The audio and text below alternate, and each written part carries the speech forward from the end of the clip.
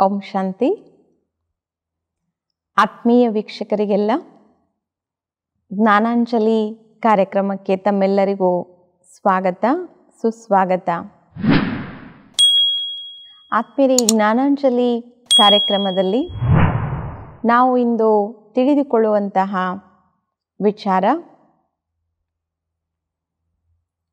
ಜೀವನದ ಗುಣಮಟ್ಟವನ್ನು ನಾವು ಹೇಗೆ ಶ್ರೇಷ್ಠ ಮಾಡಿಕೊಳ್ಳಬೇಕು? ಆರೋಗ್ಯಶಾಲಿಯಾಗಿರುವಂತಹ ಉತ್ತಮ ಗುಣಮಟ್ಟದ ಜೀವನವನ್ನು, ಜೀವನದ ಗುಣಮಟ್ಟ, ಇದು ಇಂದು ನಾವು ತಿಳಿದುಕೊಳ್ಳಲು ಹೊರಟಿರುವಂತಹ ವಿಚಾರ. ಆತ್ಮೀಯರೇ, ನಾವು ಇಂದು ನೋಡೋದೇ ಆದರೆ ವಾಸ್ತವಿಕವಾಗಿ ಗುಣಮಟ್ಟದ ಕಡೆಗೆ ನಾವು ತುಂಬ ತುಂಬ ಗಮನ ಕೊಡ್ತೇವೆ. ಅಲ್ವಾ? ನಾವು ಯೋಚನೆ ಮಾಡೋದಾದರೆ ಯಾವುದೇ ಒಂದು ವಸ್ತುವನ್ನು, ಅತಿ ಕಡಿಮೆ ಬೆಲೆಯ ವಸ್ತುವನ್ನು ನಾವು ತಗೊಳ್ಬೇಕಾದರೂ ಕೂಡ ಸಹ ನೋಡಿ ಅದರ ಗುಣಮಟ್ಟದ ಕಡೆಗೆ ನಾವು ಗಮನ ಕೊಡ್ತೇವೆ. ಅಲ್ವಾ?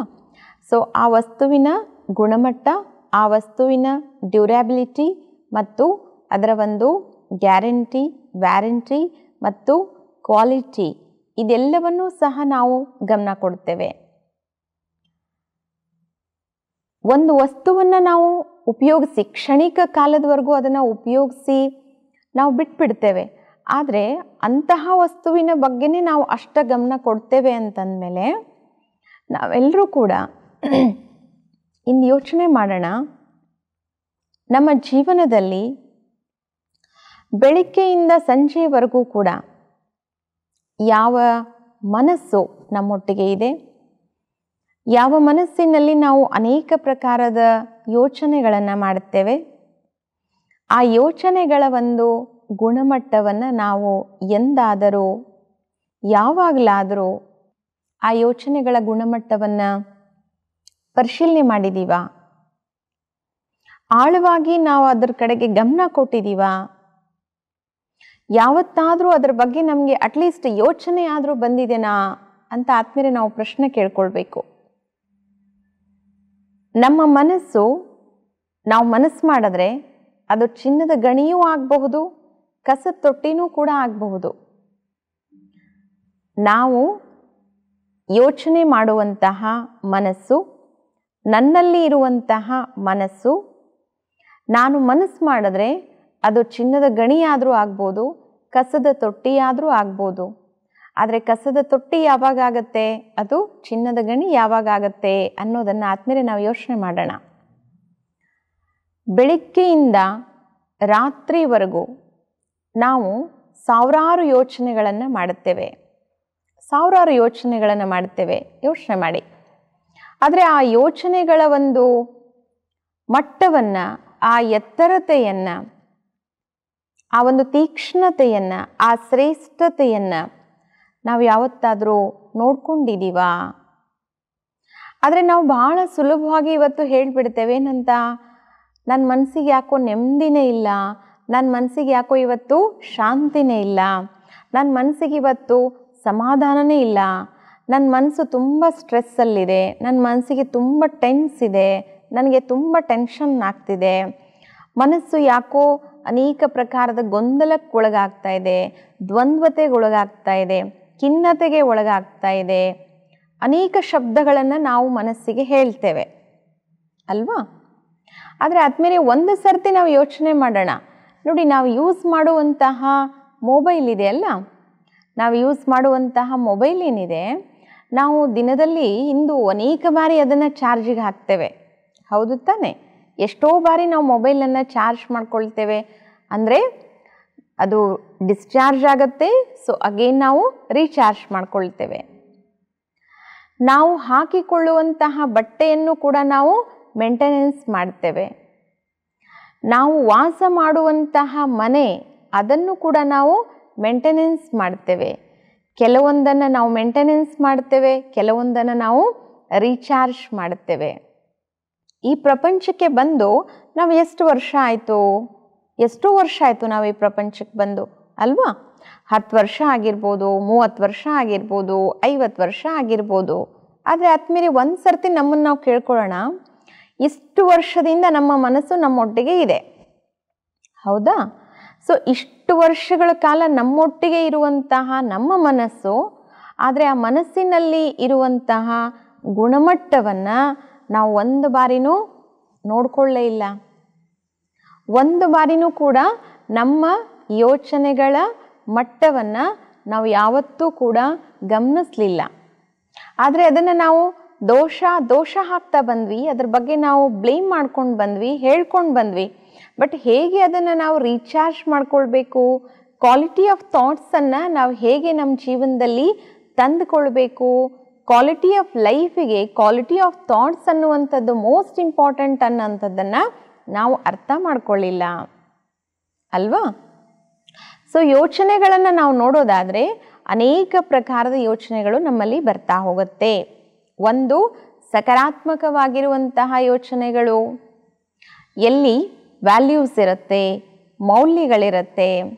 ಶಾಂತಿ, ಪ್ರೀತಿ, ಸುಖ, ಸಮಾಧಾನ ತಾಳ್ಮೆ, ಸಹಾನುಭೂತಿ, ಅನುಕಂಪ, ದಯೆ, ಕರುಣೆ, ಪರೋಪಕಾರ, ಇದೆಲ್ಲವೂ ಸಹ ಪಾಸಿಟಿವ್ ಥಾಟ್ಸ್ ಎಲ್ಲಿ ಸಕಾರಾತ್ಮಕತೆ ಇದೆ? ನಾನು ಈ ಜಗತ್ತಿನಲ್ಲಿ ಏನನ್ನ ಬಯಸುತ್ತೇನೋ ಅದನ್ನು ನನ್ನ ಪಕ್ಕದ ಮನೆಯವರು ಕೂಡ ಬಯಸ್ತಾರೆ. ನನ್ನ ಮನೆಯವರು ಕೂಡ ಅದನ್ನು ಬಯಸ್ತಾರೆ. ನಾನು ಹೇಗಿರಬೇಕು ಅಂತ ಬಯಸ್ತೀನೋ ಬೇರೆಯವರು ಕೂಡ ಹಾಗೆ ಇರಬೇಕು ಅಂತ ಬಯಸ್ತಾರೆ. ಅನ್ನುವಂಥದ್ದಿದೆಯಲ್ಲ? ಇದು ಪ್ರತಿಯೊಬ್ಬರಿಗೂ ಸಹ ಇರಬೇಕಾಗಿರುವಂತಹ ಒಂದು ಅಂಶ. ಆದರೆ ಅದರ ಬಗ್ಗೆ ನಾವು ಇವತ್ತು ಗಮನ ಕೊಡ್ತಾ ಇಲ್ಲ. ಪ್ರೀತಿ, ಶಾಂತಿ, ಸಹಾನುಭೂತಿ, ಕಟ್ಸಿ ಇದೆಲ್ಲ ನನಗೆ ಬೇಕು. ಆದರೆ ಬೇರೆಯವ್ರಿಗೂ ಸಹ ಅದು ಬೇಕು ಅನ್ನೋದ್ರ ಬಗ್ಗೆ ನಮ್ಗೆ ಇವತ್ತು ಗಮನ ಇಲ್ಲ. ಎರಡು ನೆಗೆಟಿವ್ ಥಾಟ್ಸ್ ನೆಗೆಟಿವ್ ಥಾಟ್ಸ್ ನಿಮ್ಗೆ ಎಲ್ರಿಗೂ ಸಹ ಗೊತ್ತಿದೆ. ಒಬ್ಬ ವ್ಯಕ್ತಿನಲ್ಲಿ ಎಷ್ಟೇ ಒಳ್ಳೆತನ ಇದ್ದರೂ ಕೂಡ ಆ ವ್ಯಕ್ತಿನಲ್ಲಿರುವಂತಹ ಒಳ್ಳೆತನವನ್ನು ಬಿಟ್ಟು ಆ ವ್ಯಕ್ತಿನಲ್ಲಿರ್ತಕ್ಕಂತಹ ಒಂದು ವೀಕ್ನೆಸ್ ಏನಿರುತ್ತೆ ಅಥವಾ ಒಂದು ನೆಗೆಟಿವ್ ಪಾಯಿಂಟ್ಸ್ ಏನಿರುತ್ತೆ ಅಥವಾ ಒಂದು ಮೈನಸ್ ಪಾಯಿಂಟ್ ಏನಿರುತ್ತೆ, ಆ ನೆಗೆಟಿವ್ ಪಾಯಿಂಟನ್ನು ಆ ಮೈನಸ್ ಪಾಯಿಂಟನ್ನು ನಾವು ಹೈಲೈಟ್ ಮಾಡ್ತೀವಿ. ಅಥವಾ ಅದ್ರ ಕಡೆ ನಮ್ಮ ಗಮನ ಹೋಯಿತು. ಬಟ್ಟೆನಲ್ಲಿ ನೈಂಟಿ ನೈನ್ ಪರ್ಸೆಂಟೇಜ್ ವೈಟ್ನೆಸ್ ಇದೆ ಬಟ್ ಎಲ್ಲೋ ಒಂದು ಬ್ಲ್ಯಾಕ್ ಡಾಟ್ ಇತ್ತು ಅಂದಾಗ ನಮ್ಮ ಗಮನ ಅಲ್ಲಿರುವಂತಹ ವೈಟ್ನೆಸ್ ಕಡೆಗೆ ಹೋಗದೆ, ಅಲ್ಲಿರುವಂತಹ ಬ್ಲ್ಯಾಕ್ ಡಾಟ್ ಕಡೆ ಹೋಯಿತು ಅಂದ್ಕೊಳ್ಳಿ ಅದು ನೆಗೆಟಿವಿಟಿ ಇವತ್ತು ಸಮಾಜದಲ್ಲಿ ನಾವು ನೀವೆಲ್ಲರೂ ಕೂಡ ನೋಡೋದೇ ಆದರೆ ವ್ಯಕ್ತಿಗಳಲ್ಲಿ ನೆಗೆಟಿವಿಟಿ ತುಂಬ ಜಾಸ್ತಿ ಇದೆ. ತನ್ನ ಹತ್ರ ಏನೆಲ್ಲವೂ ಇದೆನೋ ಅದನ್ನು ಬಿಟ್ಟು ತನ್ನ ಹತ್ರ ಏನಿಲ್ವೋ ಅದ್ರ ಬಗ್ಗೆ ಮನಸ್ಸು ಸದಾ ಕೊರಗ್ತಾ ಇರುತ್ತೆ. ಸದಾ ಯೋಚನೆ ಮಾಡ್ತಾ ಇರುತ್ತೆ. ಇವತ್ತು ಪ್ರತಿಯೊಬ್ಬರಿಗೂ ಸಹ ಸಾಕಷ್ಟು ಒಳ್ಳೆತನನೂ ಇರುತ್ತೆ, ಕೆಲವೊಂದು ಕುಂದುಕೊರತೆಗಳು ಇರುತ್ತೆ, ಪ್ರತಿಯೊಬ್ಬ ವ್ಯಕ್ತಿನಲ್ಲೂ ಇರುತ್ತೆ. ಪ್ರತಿಯೊಬ್ಬ ವ್ಯಕ್ತಿನಲ್ಲಿ ಅನೇಕ ದೌರ್ಬಲ್ಯತೆಗಳು ಇರುತ್ತೆ, ಅನೇಕ ಸಕಾರಾತ್ಮಕ ಅಂಶಗಳು ಇರುತ್ತೆ, ಒಳ್ಳೆಯ ಗುಣಗಳು ಸಹ ಇರುತ್ತೆ. ಆದರೆ ನಮ್ಮ ಗಮನ ಅನ್ನುವಂಥದ್ದು ಸಕಾರಾತ್ಮಕ ಅಂಶಗಳನ್ನು ಬಿಟ್ಟು ಅವರಲ್ಲಿರುವಂತಹ ನಕಾರಾತ್ಮಕ ಅಂಶಗಳ ಕಡೆ ಹೋಯಿತು ಅಂದ್ಕೊಳ್ಳಿ ಒಂದು ಗ್ಲಾಸ್ನಲ್ಲಿ ಅರ್ಧ ಗ್ಲಾಸು ನೀರಿತ್ತು. ಸೊ ಸಕಾರಾತ್ಮಕವಾಗಿ ಯೋಚನೆ ಮಾಡುವಂಥವ್ರು ಏನು ಯೋಚನೆ ಮಾಡ್ತಾರೆ? ಓ, ಗ್ಲಾಸ್ನಲ್ಲಿ ಸದ್ಯ ಅರ್ಧ ಗ್ಲಾಸ್ ನೀರುಂಟು ಅಂತ. ಆದರೆ ನಕಾರಾತ್ಮಕವಾಗಿ ಯೋಚನೆ ಮಾಡುವಂಥವರು ಅರ್ಧ ಗ್ಲಾಸು ಖಾಲಿ ಇದೆ ಅಂತ ಯೋಚನೆ ಮಾಡ್ತಾರೆ. ಅಲ್ವಾ ಆತ್ಮೇರೆ ಇವತ್ತು ಜಗತ್ತಿನಲ್ಲಿ ಪರಮಾತ್ಮ ನಮಗೆ ಏನೆಲ್ಲವನ್ನು ಕೊಟ್ಟಿದ್ದಾನೆ? ಪ್ರಕೃತಿನಲ್ಲಿ ಏನೆಲ್ಲವೂ ಸಹ ಇದೆ. ಸಮಾಜದಲ್ಲಿ ಪ್ರತಿಯೊಬ್ಬ ವ್ಯಕ್ತಿನಲ್ಲಿ ಅನೇಕ ಪ್ಲಸ್ ಪಾಯಿಂಟ್ಸ್ ಇದೆ. ಅನೇಕ ಒಳ್ಳೆಯ ಗುಣಗಳು ಕೂಡ ಇರುತ್ತೆ. ಮನೆಯವರಲ್ಲೂ ಕೂಡ ಅನೇಕ ಒಳ್ಳೆಯ ಗುಣಗಳಿರುತ್ತೆ.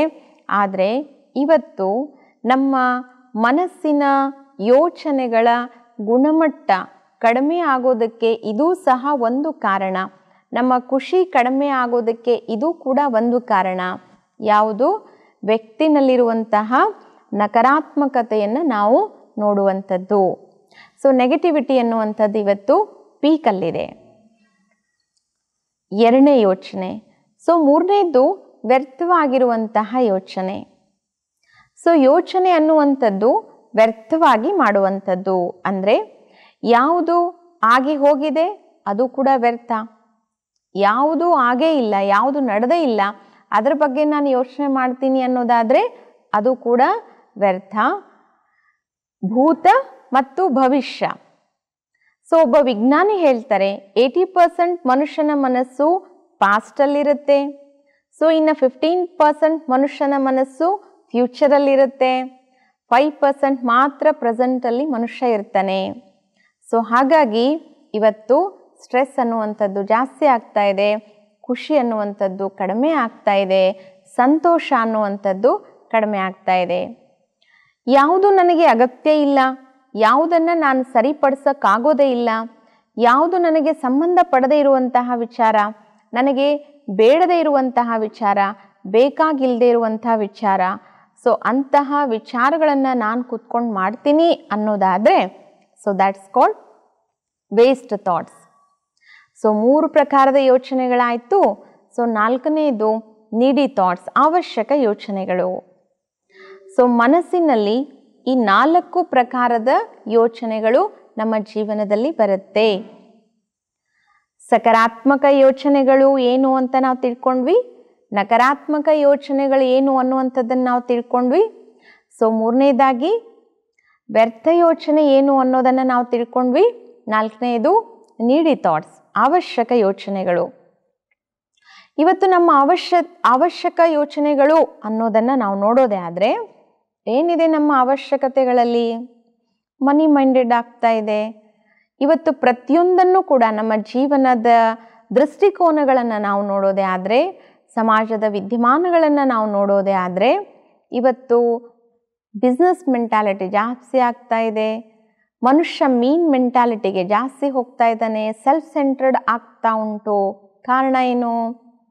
ಇವತ್ತಿನ ನೀಡ್ಸ್ ಏನಪ್ಪ ಅಂದರೆ, ನಮ್ಮ ಹತ್ರ ಹಣ ಇದ್ಬಿಟ್ರೆ ನಾವು ತುಂಬ ಚೆನ್ನಾಗಿದ್ಬಿಡ್ತೀವಿ ಸಂತೋಷವಾಗಿದ್ಬಿಡ್ತೀವಿ.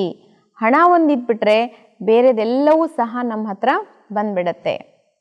ಖಂಡಿತ ಇಲ್ಲ ಆತ್ಮೀಯರೇ. ಇವತ್ತು ನಾವು ಯೋಚನೆ ಮಾಡೋದಾದರೆ ಹಣ ಸಂಪಾದನೆ ಮಾಡ್ತಾ ಇರೋದು ಸಂತೋಷಕ್ಕೋಸ್ಕರ. ನಮಗೆ ಸುಖ ಬೇಕು ಅಂತ ನಾವು ಸಂತೋಷಕ್ಕೋಸ್ಕರ ಸಂಪಾದನೆ ಮಾಡ್ತಾ ಇದ್ದೀವಿ ಆದರೆ ಯೋಚನೆ ಮಾಡಿ, ಹಣಕ್ಕೋಸ್ಕರ ನಾವು ಹಣ ಸಂಪಾದನೆ ಮಾಡ್ತಾ ಇಲ್ಲ, ಸುಖಕ್ಕೋಸ್ಕರ ನಾವು ಹಣ ಸಂಪಾದನೆ ಮಾಡ್ತಾ ಇದ್ದೀವಿ ಹೌದ್ ತಾನೆ? ಆದರೆ ನಾವು ಸಂಪಾದನೆ ಮಾಡ್ತಾ ಇರುವಂತಹ ಹಣದಿಂದ ನಮಗೆ ಸುಖ ಸಿಗ್ತಾ ಇದೆನಾ ಅಂತ ನಮಗೆ ನಾವು ಪ್ರಶ್ನೆ ಹಾಕ್ಕೊಂಡ್ರೆ ಖಂಡಿತ ಇಲ್ಲ. ಹಾಗಾದರೆ ಎಲ್ಲಿ ಹೋಗ್ತಾ ಇದೆ? ನಮ್ಮ ಮನಸ್ಸಿನ ಗುಣಮಟ್ಟ ಎಲ್ಲಿ ಹೋಗ್ತಾ ಇದೆ ಅನ್ನೋದನ್ನು ನಾವು ಯೋಚನೆ ಮಾಡಬೇಕು. ಇವತ್ತು ನಾವು ತುಂಬ ಕಡಿಮೆ ಯೋಚನೆ ಮಾಡ್ತಾ ಇದ್ದೀವಿ ಸಕಾರಾತ್ಮಕ ಯೋಚನೆಗಳನ್ನು. ಇವತ್ತು ನಮ್ಮೆಲ್ರಿಗೂ ಇಷ್ಟ. ಎಲ್ರಿಗೂ ತುಂಬ ಇಷ್ಟ.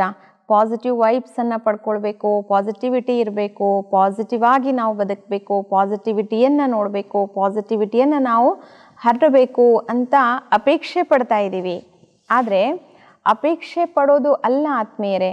ಆದರೆ ನನ್ನೊಳಗಡೆ ಆ ಪಾಸಿಟಿವಿಟಿಯನ್ನು ಆ ಪಾಸಿಟಿವ್ ಟ್ರಾನ್ಸ್ಫಾರ್ಮೇಷನನ್ನು ನಾನು ತಂದುಕೊಳ್ಳೋದಿದೆಯಲ್ಲ, ಅದು ಬಹಳ ಮುಖ್ಯ. ಸೊ ಅದು ಪ್ರಾರಂಭ ಆಗುವಂಥದ್ದು, ಅದು ಶುರು ಆಗುವಂಥದ್ದು ಎಲ್ಲಿ ನನ್ನ ಮನಸ್ಸಿನಿಂದ ಆಗುವಂಥದ್ದು.